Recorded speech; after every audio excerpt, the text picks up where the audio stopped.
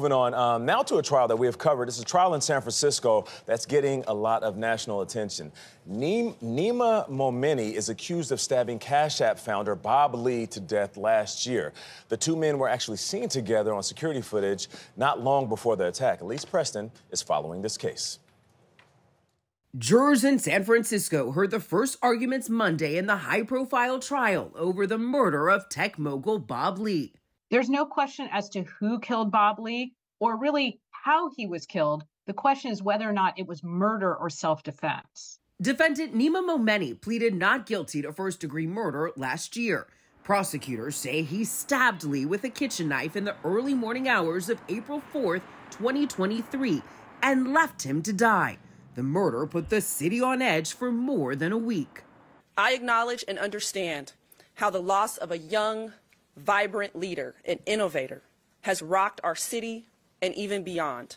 The pair was captured by a security camera leaving Momeni's younger sister Khazar's apartment building before Momeni allegedly stabbed Lee three times. In court, prosecutors presented Lee's chilling 911 call in which he cried for help 47 times before going silent. Prosecutors allege the killing was connected to Lee's relationship with Khazar Momeni.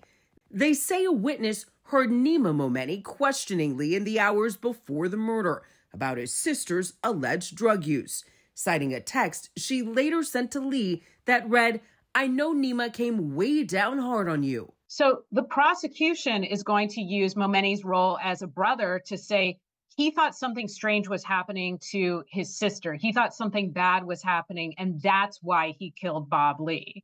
The toxicology report revealed Lee had cocaine, ketamine, and alcohol in his system at the time of his death. How does that come into play when you're presenting this case to a jury? I think the defense will absolutely use the drugs and try and tell the story of somebody, Bob Lee, who was out of control, and here's Momeni just trying to defend himself.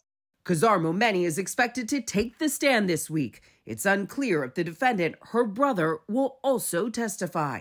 For CBS Mornings, I'm Elise Preston.